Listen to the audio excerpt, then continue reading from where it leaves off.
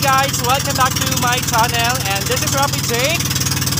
And this is Kuya Boynik. Alright, so we're going to Campalabo Sandbar. Ayun, gusto po namin ma-experience ngayon ng Campalabo kung gaano po siya kaganda. So, ayan, kasama po namin ngayon nasa likod ko. Ayan, sila sa sila po ay sa taga Capitol po. So, pumunta po sila ngayon dito para po mag-inspection po sa aming pinakamagandang uh, Campalabo Island na matatagpuan po dito sa Barangay Tahaw, Pinamungahan, Cebu. So, ngayon po, um, ah, ang biyahe po nito ay siguro nasa 15 to 20 minutes. Ah, 15 to 20 minutes lang po. So kung gusto niyo po, kung may plano po kayo na pumunta dito, sobrang napakaganda po and hindi po kayo magsisisi dahil murang-mura lang po yung ah, yung entrance fee pati yung bayad po ng, ng mga bangka. So, ayan po sa likod ko, papunta na po kami ngayon. Po yung mga kasama ko. Ayan. So, hindi po kalimutan i-subscribe ang YouTube channel ni Kuya Boyneng. So, ayan. And then, pati na po sa akin, Rapid Jake. So, uh, nagtulog po kami ngayon ah, dahil nagplano po kami na ah, i-promote itong uh, Campo, uh, Campalabo Island dito sa ah, lungsod ng Pinamungahan.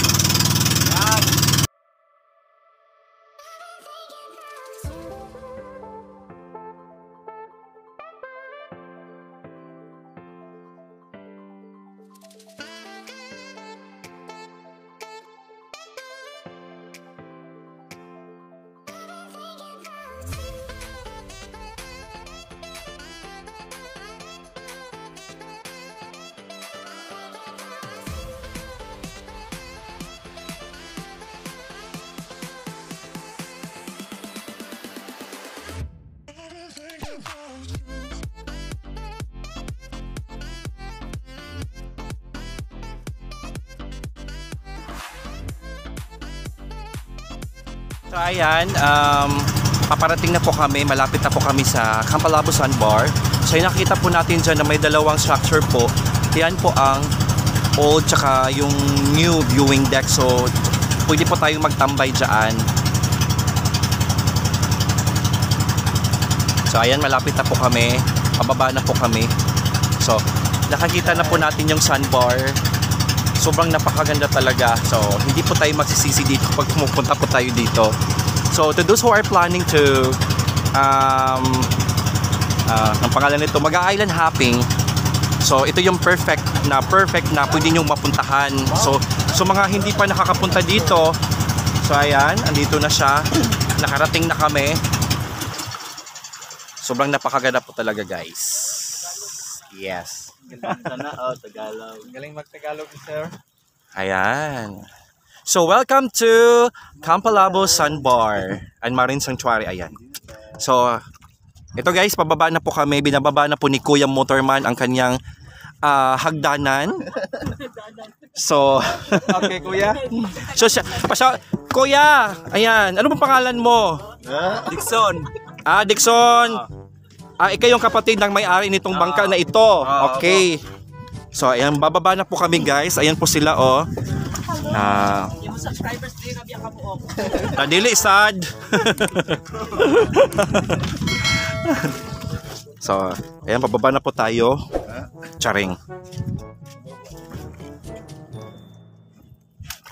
Hello, very white sun. Charot. Mga pagkaon na torlach. Ayan, so Starfish. starfish. Uy,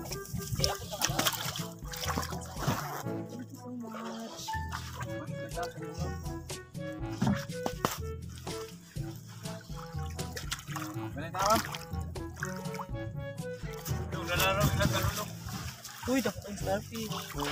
Kumanta to, hindi ka. Oh, Ah, starfish! Dara, palihog ko ilach. kuya. Pumanda ako ng misa. Ah. Mm. Sa Toropen, ah. Then subscribe niyo rin si ano si Yogi Igay, ang kanyang ah, channel ay Inday Egoy. 1 million subscribers na po siya. Ah. Ayan, so we're here na po. Ayan mga guys. So, nakita niyo po sa likuran ko, ito po yung napakaganda pong white sand dito po sa Campalabo Island. So, kung gusto nyo pong magbalak or magbalak na pumunta po dito, so makikita nyo po talaga na napakaganda at hindi po nyo pagsisihan na pupunta po kayo dito. So, ayan po nakikita po natin, napakaganda. So, the best po na uh, time na pumunta po dito is uh, mga morning po talaga like um, 6 o'clock or uh, before 6 o'clock hanggang 9 po kasi um, makikita po natin talaga yung yung sandbar at hindi po siya lulubog. Kasi pag, pag, pag high tide po siya is lulubog lang po siya ng konti pero hindi talaga siya yung lulubog na lulubog. So ito makikita po natin. Ayan. Sa likod ko. Ayan. So may may viewing deck po tayo dito para makita po talaga natin yung view Ayan. So, napakaganda po talaga. so, ah di, di ay ah, meron pong ano dito, meron po siyang uh, maling sanctuary po na makikita po natin. Yan, ayan may mga buya po siya. Yan.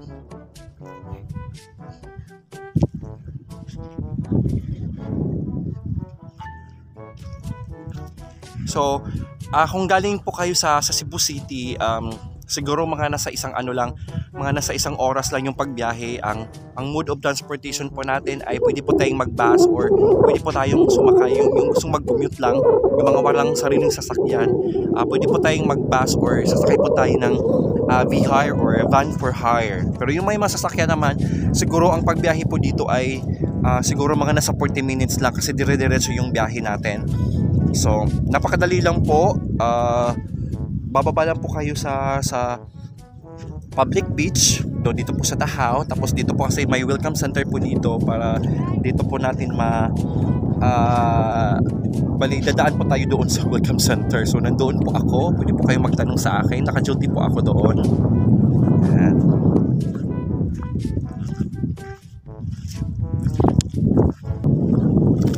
So guys, tawin ko muna si Kuya Boyneg.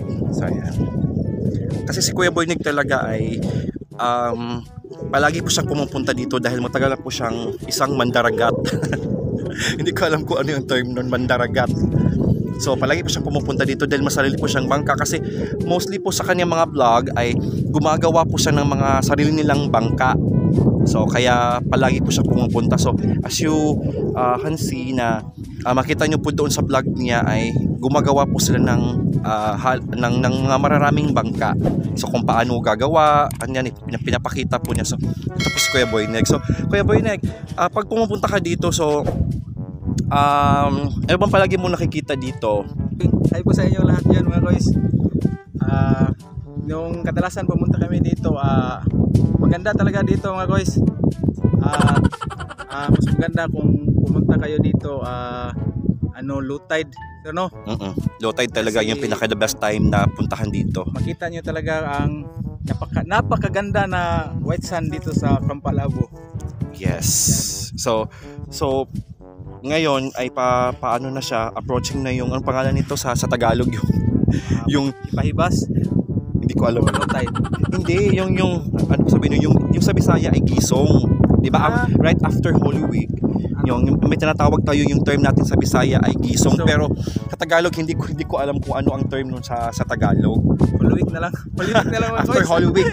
So, 'di ba pag uh, yung ano natin, yung tradisyon natin pag after ng Holy Week, uh, kumbaga uh, kasag, uh, kadalasan sa atin ng mga Pinoy pumupunta tayo sa mga isla-isla, pumunta tayo sa dagat yun para magtipon-tipon. So yun, uh, kadalasan dito maraming tao dito uh, lalo na ngayong Sunday tsaka uh, at Saturday. So ayun. So ito si Kuya Boyneg, uh, may sarili siyang bangka. So pumupunta siya palagi dito, uh, nangingisda sila. Malapit dito. Pero kasi sa ngayon eh bawal pong mangingisda, mangisda dito, bawal mag uh, kukuha ng mga marine flora and marine fauna. So, yung makikita po natin ng mga starfish, mga live animals, kung ano yung nakita natin dito, kung ano yung mga dinadala natin doon galing tayo sa sa welcome center, yun din natin dadalhin natin pa, pa, pabalik kasi bawal po tayo na magdala kahit ano-ano kung anong nakita nyo dito po sa uh, Campalabo Sandbar. So Kuya Boynik, nakapang ilang ano ka na ba? Naka, nakapag-transport uh, ka na ba ng mga tao dito dati na gustong maligo? Opo, yung dati, yung hindi pa nag...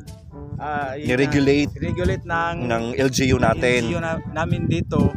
So meron naman pumupunta. Pero ngayon, simula nang nag ah, ano man tawag- Niregulate yung Niregulate na, ah, ng, ng ano ng ng LGU. ng LGU so na nakapunta na ako na dito yung pang-apat na bisis Oo, so yung bangka namin.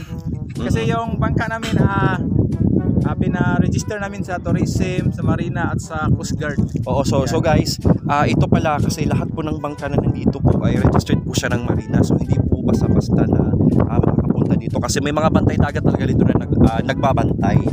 So pag pag yung bangka po ninyo ay hindi registered po ng marina, so meaning to say, hindi po kayo makakapunta dito or hindi kayo basta-basta na makakadak dito. So dapat pag ma- may bala kayong pumunta dito, pumunta muna kayo sa Welcome Center at may mga bangka naman doon na nakalinya, so sila po ang ah, registered or sila po ang allowed na bangka lang na ang, po, ang makakapunta po dito. So siguro nasa 1,500 lang ata, no? So nasa 1,500 lang. So ito, may bangka si Kuya Boynig doon. If ever naman po kung kung may ah, may bala kayo na pupunta dito, uh, let's say for example during vacation, lalong lalo na po ay ang summer po natin is approaching na. So ah, pwede po kayong mag ah, mag-comment po sa channel ni Kuya Boynek. So makita kayo- makita niyo po ang channel niya is Kuya Boynek. So pwede po kayong mag, mag-comment down doon. Ah, For more Mag- information, Yes, for more information, pwede po kayong mag-ask sa kanya. Din yung Facebook mo kaya boy, ano ba yung Facebook Ah, mo? Jefferson Mahasol Alpanta yan. Ah, ah, so siguro ipipin lang niya doon, ilalagay niya doon yung yung Facebook niya. Pwede din kayo mag-message doon sa Facebook niya. Or yun, napakadali lang sa sa YouTube channel niya na Kuya Boy Next. So pwede kayo mag-comment doon at hindi niyo talaga pagsisihan na pumunta kayo dito. Napakaganda talaga. Yeah. Ah, nakita niyo po oh, ayan. So may may old and going deck po tayo diyan na pwede po tayong mag-standby pero as of now, for the moment, yung yung old natin na viewing deck ah, hindi pa natin pwedeng pagtambayan kasi medyo delikado pa siya. Pero under renovation na po yan. And then soon, siguro mga um, this summer, ah, maano na yan, ah, ah, ah, ma, ma, ma-refer na yun or ma-renovate na yan. So hopefully para ah, magagamit na yan sa mga ibang ah, turista na, ah, na may balak pupunta dito. So, ayan so maya-maya mga mga mga koys, mga guys. So ma- ma-experience po natin ka- ma-experience po natin kung gaano kaganda ang Kapalabo dahil maliligo po kami. So, ayan, iba-vlog ko mamaya at ipapakita ko sa inyo. So, ayun. Talagang talagang hindi nyo pagsisisihan. Yan, ganda ng white sand.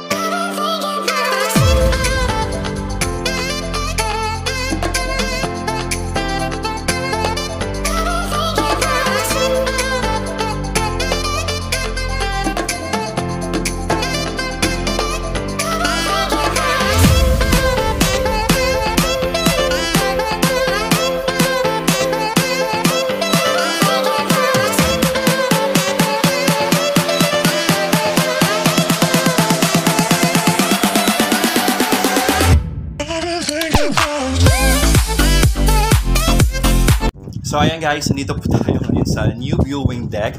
So kung saan na pwede po tayo mag ah, mag-standby po or uh, gusto po natin na makita yung kagandahan dito ng uh, Kampalabusan or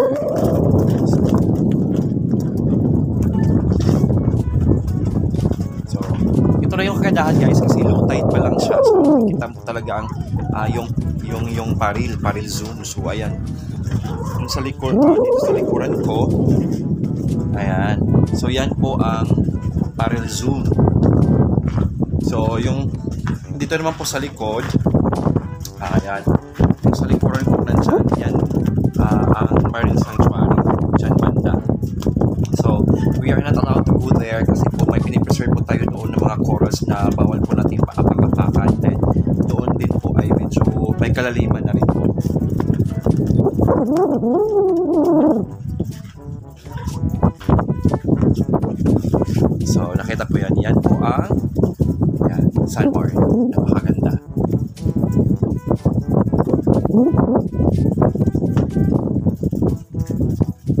So, if you have any plan guys to come here, hindi talaga kayo pag hindi nyo talaga pagsisisihan dahil napakaganda na dito talaga dito at napakamura lang po talaga yung entrance fee ay nasa 50 pesos lang po.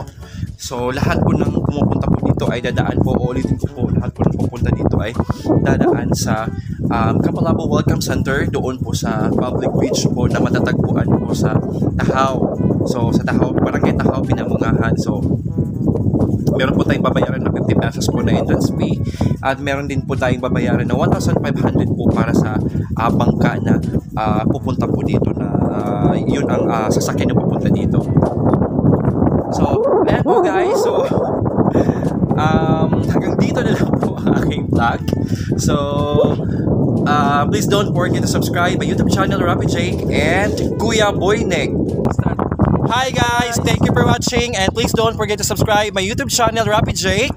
And also, don't forget to like my YouTube channel, Koya Boynig. Ayan, bye!